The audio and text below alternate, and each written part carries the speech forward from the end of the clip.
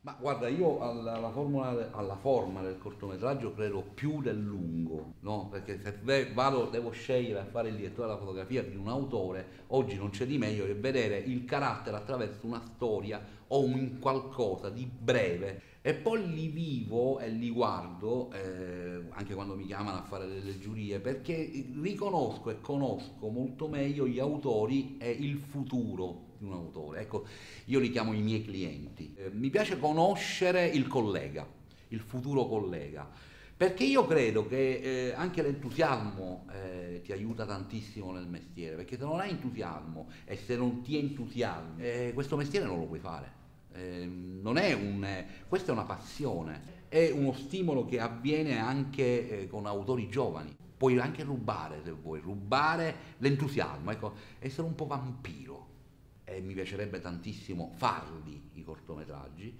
e collaboro continuamente anche con ragazzi che fanno cortometraggi e li guardo. Ma i grandi maestri come Scorsese facevano i cortometraggi come Same, quindi è una storia che continuerà per sempre. Il corto non morirà mai. Disgraziatamente non ha una distribuzione. Al cinema il corto non ci potrà stare mai, potrà stare in una rassegna. Sicuramente io in Spagna ho visto, anche in Francia, ho visto che c'è un grande rispetto per i cortometraggi, addirittura in Spagna fanno dei DVD di tanti cortometraggi che sono venduti e noleggiati, quindi è quella la formula migliore, l'on video, cioè tu puoi arrivare o con la tv o con l'on video. E io non ho niente in contrario alla televisione, la televisione fa brutta produzione in Italia, ma il mezzo è geniale perché quel mezzo è stupendo specialmente per i cortisti. E io personalmente, che ti ripeto, non sono, pro, sono stato produttore di me stesso, che mi vado a vedere i cortometraggi e dico, porca miseria, ma questo è un genio, questo può essere questo, questo può essere, te lo devi chiedere. Poi ci sono quello, questo non ne voglio sentire manco l'odore. Quello, allora come fai la scelta? Gli fai fare i film? No, gli devi, fare, devi vedere i corti. Tant'è vero che adesso i produttori l'hanno capito e quando arrivano gli autori nuovi, dico, hai fatto corti?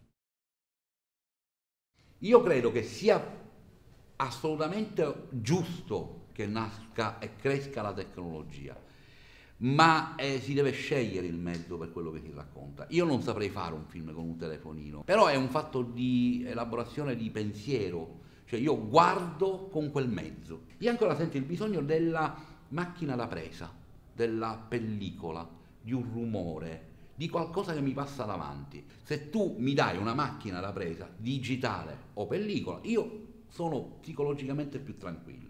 Il mezzo non fa paura, è come uno si rapporta. C'è un episodio di Pasolini con eh, Tonino Nellicolli che diceva Pierpaolo, stava girando una scena e diceva Pierpaolo, Pierpaolo, non c'è la pellicola. Pasolini si gira verso Tonino Nellicolli e dice va bene lo stesso.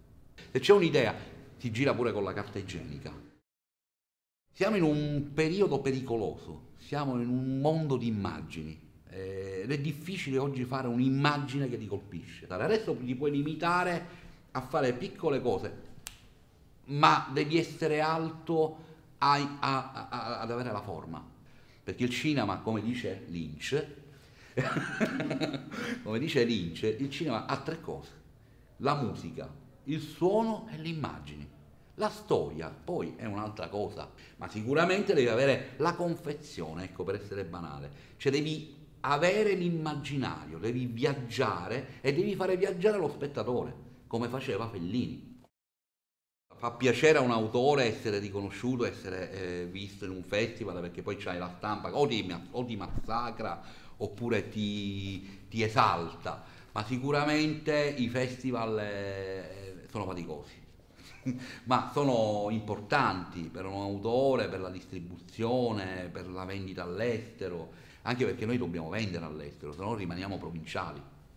E il pubblico è importante perché ti dà l'emozione a noi autori che andiamo lì, e io l'ho avuta diverse volte anche con Franco quando abbiamo presentato dei film, anche se sono stati degli eventi, di alzarmi in sala e tu sai che lì dentro ci sono eh, mille spettatori che non vedrai mai più.